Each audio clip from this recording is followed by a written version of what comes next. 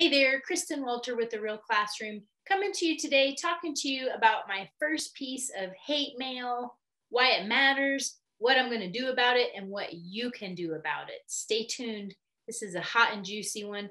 And put the kids in another room because it's going to get a little nasty today. Okay, before we get started, thanks again for coming. Make sure you click the like button, the subscribe button, leave a comment below. Today is a hot and juicy topic. I'm just going to dive right in. So here's what happened. So I send a lot of emails through my program, The Real Classroom, and I send emails to a lot of people who've been interested, who have signed up for my stuff. And I don't always look to see who they are because I figure if they're emailing me, they are interested in what I'm offering. So I sent an email out, and I'm going to put it on the screen here in a minute, showing uh, that I'm offering a scholarship for my brokerage in a box signature course. So that course right now, I'm charging $1,997 for it. And I'm offering scholarships, or I was offering scholarships to women and other minorities. And so I'll bring it up on the screen right now so you can see so here is the email that I sent out. Currently accepting scholarship applications. Here's the brokerage in a box. But first, I have to tell you something. I'm committed to making sure that everyone has access to this class and that I'm offering scholarships. If you're ready, if you need financial support, submit the application, and then I go into it below on what the application needs to have. So then I talk about who you have to be to get the scholarship. And the first one, as you can see here, says be a woman owned and or a minority owned business as defined by the Small Business Administration. So 51% plus minority ownership by a minority group member who's an individual who is at least 25% Asian, Black, Hispanic, or Native American that is like the first thing that I put as wanting to help other people. And if you've watched any of my other videos, you know why. Because as a woman, I have been discriminated against numerous times in the real estate agency business. And, you know, not by other minorities, but by old white men. And so, in order to try to help with this, I've put this scholarship together because I know that that we as women and then minorities face an institutional racism and an institution that is built against us. Because if it wasn't built against us, then why aren't more large brokerages owned by minorities? And so I thought that this was my way to help other people in a little tiny bit of a way. It was like literally the least I could do. So I sent this email out to, you know, thousands of people. I didn't think there was anything wrong with it. It's my mission. It's actually part of the way that I do what's called segmenting. And I love it because ever since I've been outspoken that women are my people, minorities are my people, in my real estate brokerage as well as in my classroom, it has helped to separate the people away from me who are not my customers the people who are going to be ugly to me, who are they in themselves inherently racist or homophobic or bigots or whatever. And so I've enjoyed doing it because I haven't really faced a lot of overt backlash since. Before I was outspoken, I would get caught off guard a lot. I'd be in an office situation or I'd be in a showing situation and someone would make a racist slur or a homophobic remark and it would really kind of, you know, shake me off my center and take me off my game. Well, now that I'm open and and honest and authentic about all of it, I don't get a lot of people making those offhanded weird remarks. They avoid me like the plague, and I like that. And so that's the first lesson I want to teach you today and I talk about it in a lot of my other videos. I talk about it in my courses, but I'm just going to keep talking about it. If you want to keep these types of people at bay, you need to be vocal. You need to be um, explicit with your communication and do what you can to stand for who you are and stand for other people and communicate it in your marketing and in every step of your business. So let me just get to the email that I got from this guy. So here's the email that I got from it is a white male. He identifies himself at the very end. So, like I said, I sent the email about the scholarships and he got it. And I maybe should have segmented all the guys out, but I wasn't thinking about that. He says to me, This is discrimination against me simply because I was born of light skin color. Um, born into a poor alcoholic family with no food to eat at Christmas, much less presents to open. My story is one that is heartbreaking and winding and Hollywood worthy. It was a tough life, but I persevered and got up every day and said, I will not be like my parents. I don't want that life. Okay, so this is the part where I react. My first reaction when I read this, the first line, this is discrimination against me because I was born of light skin color. He might as well have just said because he was born white. And yeah, okay, I am discriminating against white men because they've had the leg up in our industry since the beginning. I'm also discriminating against him simply because he is a man, because I'm going to talk to you about it a little bit in a minute about the pink tax and about Black women equal pay. And yeah, so I'm discriminating against him. I get to do that. It's my business. I get to refuse service to any customer that I want. It's just funny to me that he would have taken the time to write this whole long email and try to give me his sob story and try to make me to feel bad about the things that I was doing. And my second reaction to this first paragraph was his sob story about being born into a poor alcoholic family with no food to eat at Christmas. So here's what I have to say about that. I'm sorry for your experience.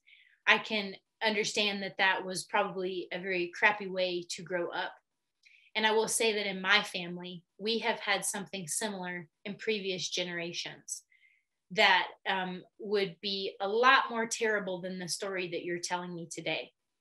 The difference between my father's story and your story is that my dad would never send a nasty email like this to another woman. So that's my first response to you is that you had was you were born into a poor alcoholic family like so many people um, but those people aren't uh, lashing out at me for doing what i think is the right thing to do so anyways he goes on to say he got up every day he went to school and barely passed but he passed. He had no help, no guidance.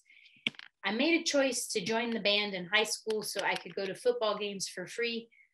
We didn't have money to go anywhere. So I joined the band and got a band scholarship. Then there, I goofed off my first year in college and lost my scholarship. I knew I had to get my grades up to get my scholarship. So I took all physical education classes and I got my GPA, GPA up and I got my scholarship back. I learned from the loss of my scholarship that I needed to apply myself to keep that scholarship. Throughout life since then, I wake up saying what I'm grateful for, and I always include the challenges and lack of as a child that made me see that I wanted to be better and change my family's legacy. I also get up with the intention to be better today than I was yesterday. I strive to earn an income to support my family, unlike the child I grew childhood I grew up in. And this is the part where he says something that I completely disagree with. And I want you to put your comments below and let me know what I'm missing because I'm only speaking from my small experience um, and I need to hear from you. But he says to me, My color did not get me where I am today, my mindset did. So, you know, this is the problem in America right now. This is the problem in the world that you have white people like this thinking that they don't have white privilege. I can see where there's also a double edged sword where some of this could be true. His color didn't get him where he is today, his mindset did. I can totally agree with that. There's lots of different kinds of people of all different skin colors who say that they didn't have any racism or they didn't have any blocks because of who they were and the color of their skin. But there's still a lot of people and a lot of statistics and a lot of data that says this is still a problem. So when he says to me, my color didn't get me where I am today, my mindset did, it just gets under my skin it's just a blanket refusal of any type of responsibility or acknowledgement that there is a broken system right now and and it, even if i'm only talking about real estate agency and brokerage you know like i said in my other video it's very evidently clear that there are hardly any women at the top, let alone women of color at the top in the real estate agency and brokerage industry. So when he says something like this, all I can think of is all the other times that I've been bullied by old white men as a real estate agent, trying to make me think that something is not really happening when it is happening. This is called gaslighting. This is, you know, your reality, you know what's really true about your experiences, and then you have someone telling you that it's not true. So, whatever, that's his experience. Okay, let's keep moving with the email. He says, I changed the way that I looked at things, and then the things I looked at changed. I feel like he speaks in bumper stickers. I had zero direction growing up. I would say that that's probably not true if he was in band and got scholarship, but whatever. What I did understand is when I hung around folks who were smarter than me and had more money than me, I always learned useful information that I applied to my life, which enabled me to excel. Here's the part that shows you the privilege that he doesn't even know that he has. The definition of privilege is having access to resources and people that you normally wouldn't have access to. So the fact that he had access to other people who were smarter than him and had more money than him tells me that he lived some sort of certain type of privilege. And so, how am I supposed to respond to this in an email? How am I supposed to like you know agree with him and like say oh yeah yeah yeah when he straight up shows me that he's had a better life than other people who are more disadvantaged than him. And here's what i know okay? So i didn't grow up um, you know with a different skin color. I obviously grew up white but when my i was teaching elementary school i taught in title one schools. I taught in schools where 90% of the children or more were on free and reduced lunch. And I saw the lives that they led. I saw the poverty that they lived in. I saw that they went without food on the weekends, that they went without food in the summer, and that they did not have people with more money than them that they could hang out with. So I'm I'm really saddened by this part of his email because he makes it just sound like if you're poor and disadvantaged or discriminated against that you can just go out and find a mentor or go out and find a rich uncle or something. It's just so beyond me that he's not even seeing the forest for the trees here. Okay. So he says, from there, I searched out the kind of people I would like to be and began hanging out with them. Again, not everyone has that privilege. I'm much older now and realize we become the product of the five people we spend the most time with. I, again, let's talk in bumper stickers. I'm sure that's in a book somewhere. It's a choice regardless of skin color. This is true. It's a choice. I don't know about the discrimination part. I would love to hear your comments below. He says, I chose to not be a victim and to not have the victim mentality because of my childhood and my childhood surroundings, which included both mental and physical abuse. Okay, so now he's equating discrimination with victimhood. And this is just completely out of the realm of understanding on his part because it's not the same thing. I'm going to keep reading his email. I'm appalled that I would not be eligible for this scholarship based solely on my skin color. All that said, becoming a broker in Texas is very defined in the education and passing the broker national and state exams. I have no desire to be a broker, but if I did, I would go about it in the correct way. I doubt I will ever hear anything from any of you, mostly because I'm a white male who busted my body working two and three jobs my entire life trying to provide. Real estate gave me a life I desired and love I studied for 18 months while caring for my mother who was dying from cancer before taking my test. Not until my mother passed away was I able to finish studying and take the test. It wasn't easy, and I had no one give me anything. I am proud because I overcame my obstacles in life, the same obstacles many have, regardless of their color or orientation. That's how he finishes it out. Because in my email, remember, I talked about also helping other LGBTQ people. So, you know, it's easy to continue to try to bully people it's crazy to me that he's giving me his sob story. So, like, why wouldn't you just delete the email? If you don't need the scholarship and you don't want the scholarship and you don't want to work with me and you don't want to take my courses, instead, he spent a lot of time typing that email to me and telling me his sob story. And the teacher in me says, Well, you didn't follow directions. I'm not even going to read this and process it. Like, you know, denied, scholarship denied. You don't need it. You don't want it, whatever. It's just, it just gets under my skin because every day I'm trying to raise awareness about the problems that we have in our industry as real estate professionals and our discrimination that we have in the housing industry. You know, I talk about the foreclosure moratorium, and now there's studies coming out and saying that the people that are going to be hit the hardest, guess who? Women, women of color. Like, how much data do we have to disseminate and how much work do we have to do to get through to some of these people well the fact is is we're never going to get through to any of these people they're going to dig their heels in they're going to continue sending nasty messages like this to people like me they're going to continue to just fight to you know gaslight all of us to say that it's not happening so i want to throw out a couple of examples for you just to show you where i'm coming from um, not just on an emotional level but but why I want to help other women. So before I show you the data, make sure you click the like button, the subscribe button, share this video with your friends because I guarantee you, if you're a woman, if you're a minority in the real estate agent or brokerage business, you are being discriminated against. You are having what my friend calls microaggressions towards you. So people are making these tiny little remarks and they're making you to feel a certain kind of way because you're not a part of the majority, which they're not even a part of the majority anymore. And please don't get me wrong, I'm not a man hater. I don't hate anyone. I just think that we all need a leg up and we all need to help one another. We need to raise awareness and we need to continue to fight for the things that we believe in and the things that are important to us. And one of those things, in my opinion, is helping other women and minorities with financial independence and financial freedom. And as real estate agents, we can go out there and sell the heck out of some properties. But what we can't do really easily is become broker owners and become very successful broker owners and franchise that out or create a large corporation.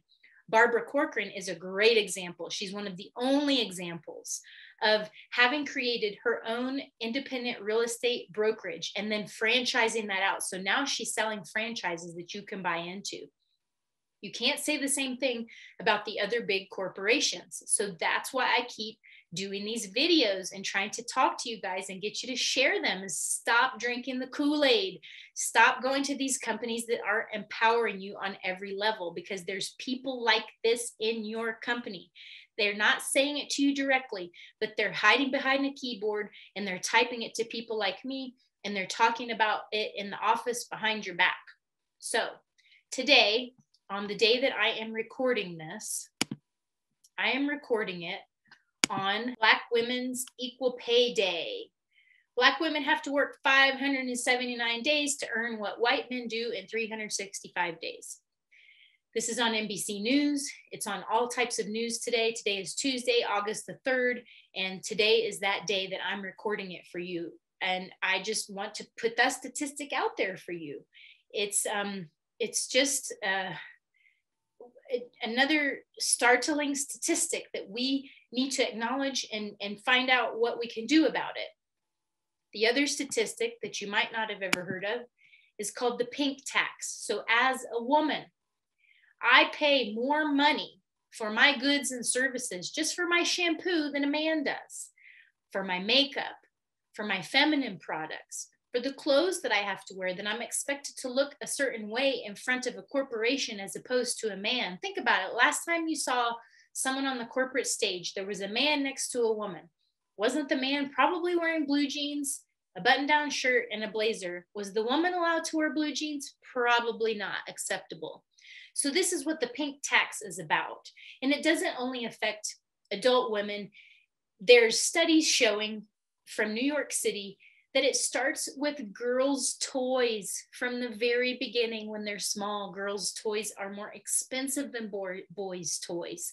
So I'm going to put this article below, and I want you to start thinking about all the extra stuff that you have to pay for your little girls at home and as a woman that a man doesn't have to pay for. This is why I'm doing what I'm doing. This is why I'm offering the scholarships.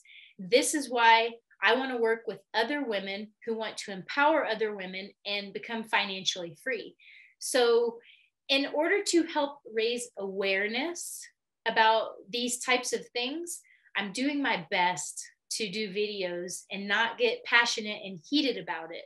But when I get an email like this from this man in Texas, it just goes to show no matter how outspoken I am and how clear I am with my own experiences, with data, is that there's still going to be people that are trying to push us down. There's still going to be people that don't want to get it through their heads that they have a certain privilege that we do not. What I want to say to you, what I always say to everyone, is ignore those people. Don't feed the trolls. Today, I'm probably feeding the trolls. I'm probably going to get some comments, some dislikes. I'm going to get some more hate mail, whatever just let it go in one ear and out the other. And address it when you can. Try to raise awareness. Try to educate people. Try to do counseling for people who really want to learn if they're asking you the right questions. Um, but for the most part what you need to do when you get in a situation like this whether it's in real life or behind a keyboard on facebook an email whatever do your best to ignore it, delete it, get it out of your mind, and go find a cheerleader. Go find someone that's going to support you. Go find someone that gets you. Go find someone that gets it. Okay. And just share and and talk about it and and get everything out that you need to get out and then move on because there's going to be a lot of people who are never going to get it. They don't want to try to get to know what's going on they don't want to fix stuff. They want to cling to the old ways. They want to try to make us all believe that it can't be changed. They're just gaslighting the hell out of us. So keep the good fight going, keep the faith, focus on your cheerleaders, and don't give up. And don't worry about those emails. Drop a comment below. I can't wait to see you in the next video or in class. Thanks for watching. Bye for now.